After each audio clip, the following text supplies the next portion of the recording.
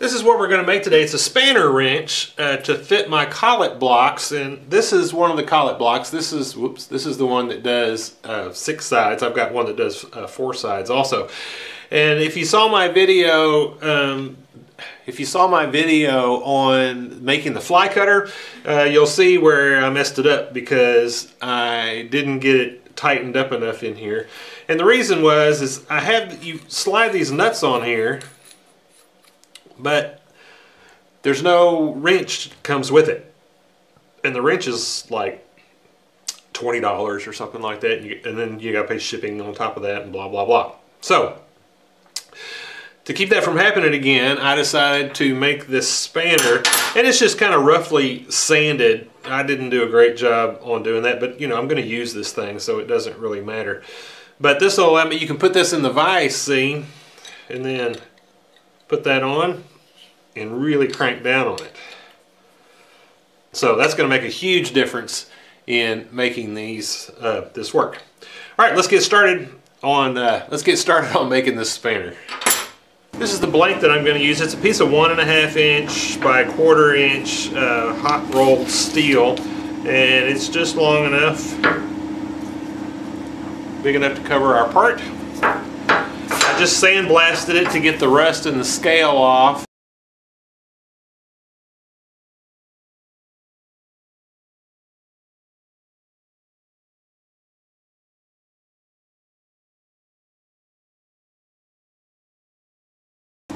I didn't have the sandblaster, I would have just used a wire brush to clean it up.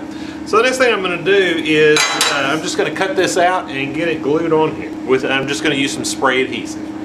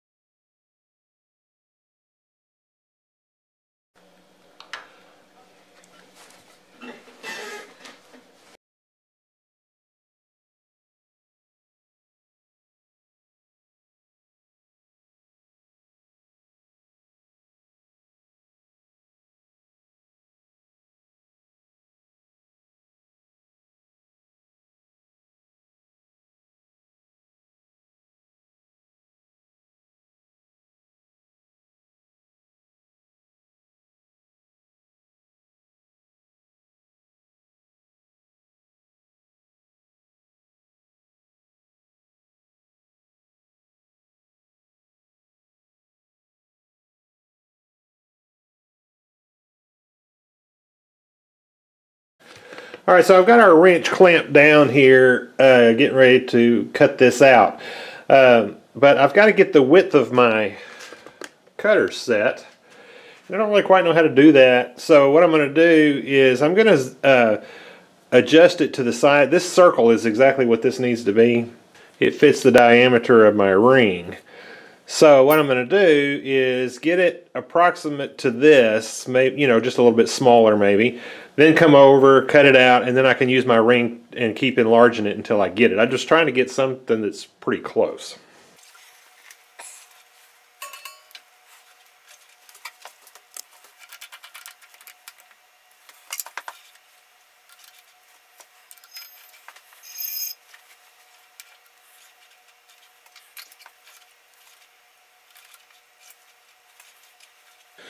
Okay, I think that's really close, so now I'm going to get over here and get it lined up.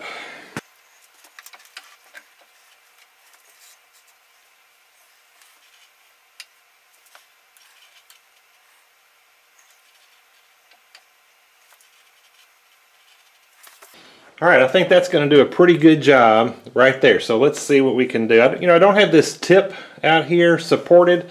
Um, maybe I need to do something about that.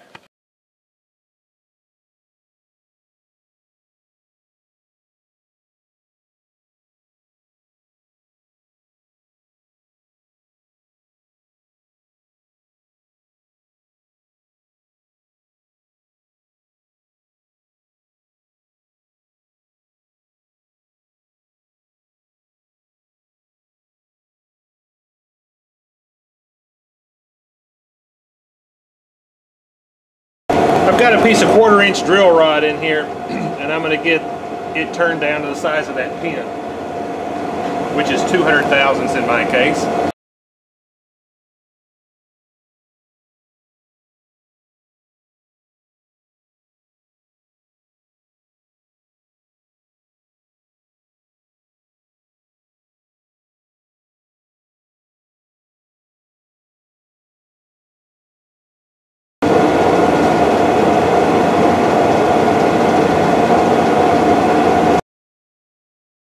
All right, so now I've got our pin and our wrench put together here, and I'm just getting everything lined up so that I make sure that that will slide in,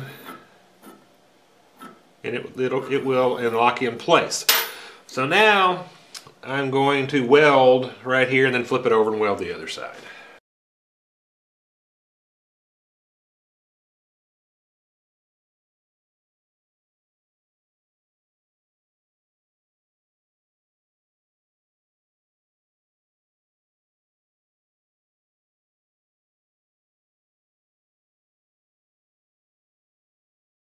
All right, well there it is finished. And that's going to do a great job of tightening that nut up. I think that problem of having stuff come loose will be a thing of the past. Well, I hope you enjoyed this project. I hope it inspires you to uh, maybe make one of these on your own or um, uh, or any other kind of little spanner wrench uh, that you might need. I, I didn't give specifics for this because I have uh, the two nuts that I have with this, they're both different, a little bit different sizes. So you're going to have to kind of just scale it out. This is about a half inch difference here. It's almost three quarters here and about half inch uh, back here. It's quarter inch thick stock. And then my pin was just a quarter inch piece of uh, drill rod that I turned down in the lathe. Anyway, I, I hope that was helpful to you. Thank you for watching.